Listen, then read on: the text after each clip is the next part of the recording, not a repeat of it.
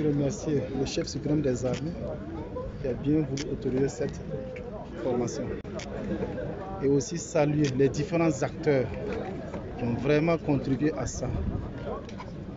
Il faut s'aider quand même avec la situation que nous avions et les effectifs qui étaient grandissants.